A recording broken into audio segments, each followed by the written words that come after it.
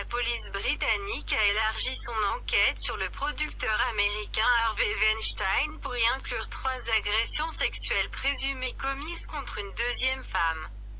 A affirmé dimanche l'agence de presse britannique Press Association.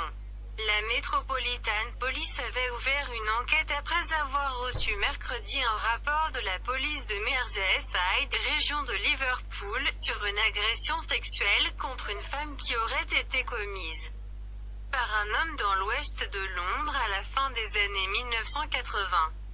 Le 14 octobre, d'autres accusations ont été portées contre cet homme, a-t-elle indiqué dans un communiqué transmis à l'AFP.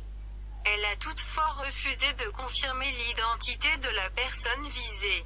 Celle-ci n'ayant pas été inculpée.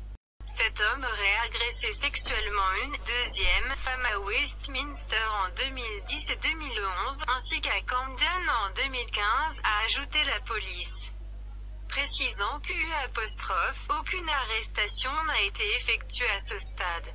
Harvey Weinstein, 65 ans, accusé de harcèlement, agression ou viol par une trentaine de femmes, est visé par une enquête policière à New York concernant une agression sexuelle présumée remontant à 2004.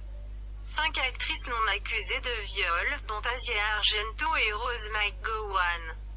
La dernière en date est l'actrice britannique Lisette Anthony, 54 ans, qui raconte avoir été violée par le producteur dans les années 1980. Weinstein a démenti par l'intermédiaire d'une porte-parole toutes les accusations de relations sexuelles non consenties. Le producteur américain, qui a longtemps fait la pluie et le beau temps à Hollywood, s'est transformé en véritable paria depuis la parution début octobre d'enquête dans le New Yorker et le New York Times déclenchant des accusations à la chaîne.